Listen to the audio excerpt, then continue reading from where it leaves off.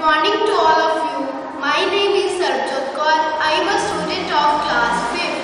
Now I show you that the air occupies space with the help of an activity.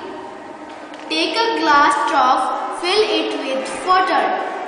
Take an empty glass tumbler, invert the tumbler into the water. You will see that the water will not go into the tumbler. Now tilt the tumbler to one side. You will see the air bubbles start coming out from the of the tumbler and water entering into the tumbler.